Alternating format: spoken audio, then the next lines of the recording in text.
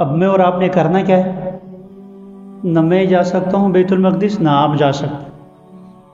करने के काम क्या है? हाथ देखे बैठ जाएँगे। नहीं, बिल्कुल ऐसा नहीं है। मैंने शुरू में कहा कि ये हमारे लिए रसूल करम सल्लल्लाहु अलैहि वसल्लम की तालीमात मौजूद हैं।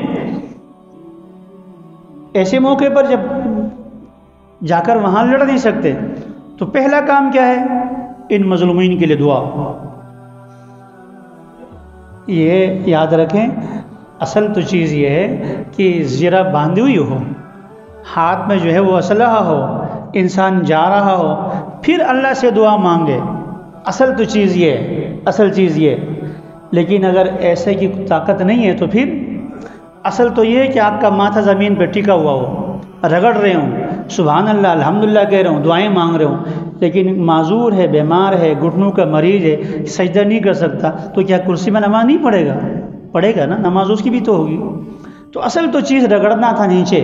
असल तो थी वहाँ वहाँ जाकर हम महाज में होते और साथ साथ जो है दुआएँ भी होती और साथ साथ जो है वो मुक्काबाजी भी होती। असल तो बात ये थी। लेकिन नहीं जा सकते तो क्या कर सकते हैं? यहाँ बैठकर ऐसी दुआ मांगे, जैसे अगर हमारा बच्चों, छोटा बच्चा अगर हमारे सामने ज़िबा हो जाए, शहीद हो जाए, वालदेन इस तरीके से मजबूर, बेयार और मददगार हों, उस वक्त हम कैसे आहोजारी से मांगते हैं? इसी तरीके से उनके लिए मांग। मांगेंगे इन आवाज़ ही कोई नहीं आई इससे आपका क्या जाता है यार? उनको मांगो। हाँ दूसरों के लिए मांगोगे तो आपके लिए मांगने वाला मौजूद होगा।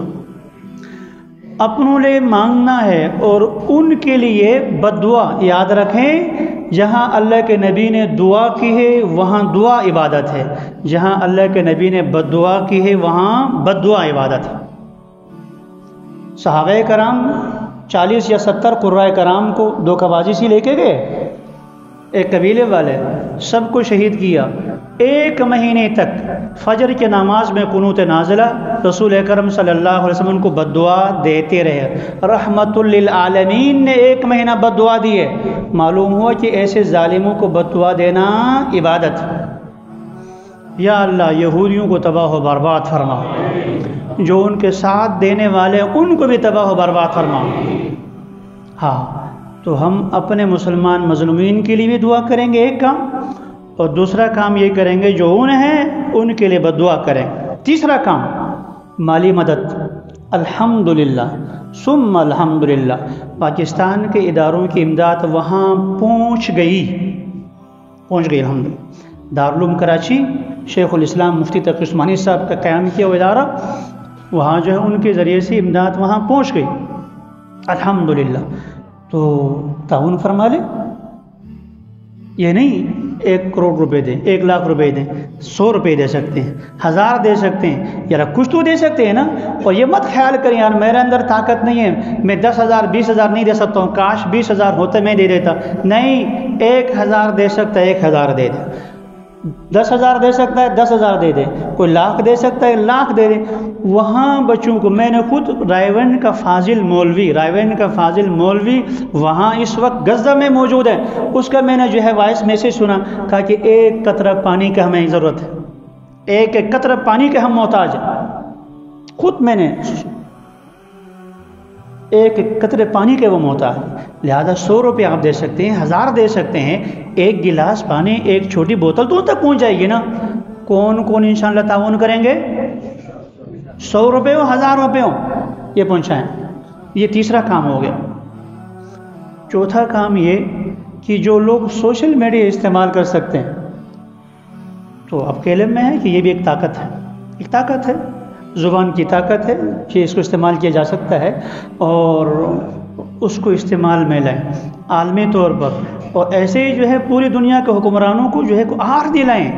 अभी वो वाहियात जो चीज़ें आप शेयर किया कर सब ख़त्म कर दें। इस वक्त में लोग क्रिकेट देख रहे हैं। तुफ है उन लोगों पर जो इस वक्त भी मैच देख रहे हैं।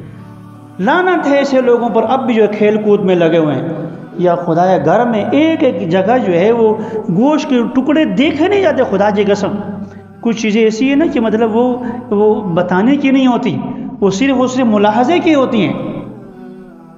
कुरान मजीद में अल्लाह ताला ने इब्राहीम सलाम और बेटे इस्माइल का जो वाक़ बयान फरमाया, बाप बेटा यूँ हुआ यूँ हुआ यूँ हुआ, फलम्मा असलमा वतल जब बेटे को लिटाया बाप ऊपर, इसके बाद कुरान भी खामोश हो गया।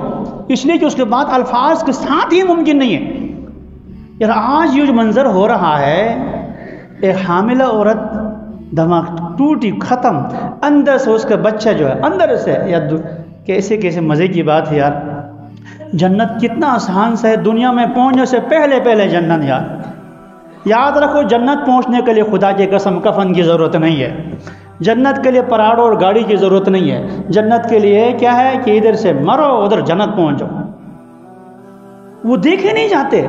और इस वक्त भी जो है, आप सोशल मीडिया पर ये चीज़ें जो फला हो गया, मजाहिया चीज़ें, ये इमरान हो गया, ये शबाज शरीफ हो गया, ये नवाज़ शरीफ हो गया, ये फला हो गया। मुँह तो भी गए से गुम कहना चाहिए। डूब मरने का मकाम। घर में कोहराम और ये हालत है, ऊपर वाले जो है मंजिल में अगर जो है दस लाशें पड़ी हुई और नीचे वाले जो है शादी ब्याह में नाच रहे डूब मरने का मकाम। ये हालत, अगर नीचे जो है तुम्हारे यहाँ नीचे टांगों में बीमारी लगी, आग लगी हुई है, ऊपर से आप मुँह से ज़ुबान से गाना गाएँगे। मुसलमान तो ये हालत है अब।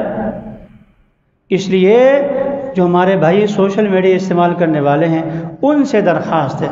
अब सिर्फ़ और सिर्फ़ यही चीज़ें फैलाएँ इनको फैलाएँ। और आखिरी बात ये, आखिरी बात ये कि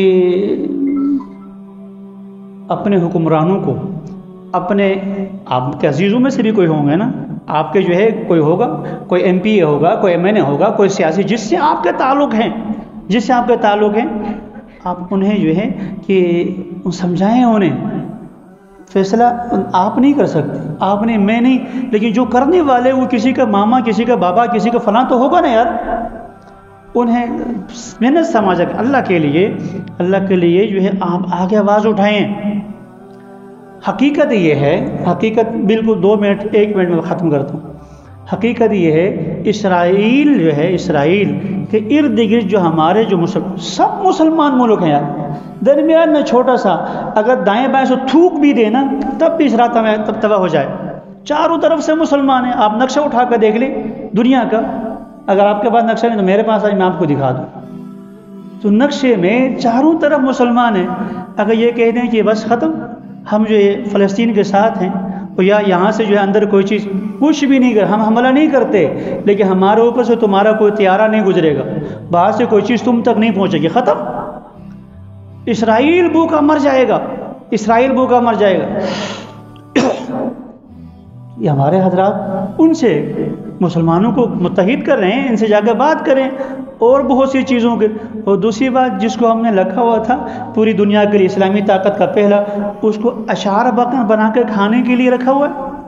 वो जो गोरी है, वो जो फला जो है, अब्दाली है, वो जो फला है, वो अशार बना कर रखने के लिए रखा, खाने के लिए रखा हुआ हम लोगों ने।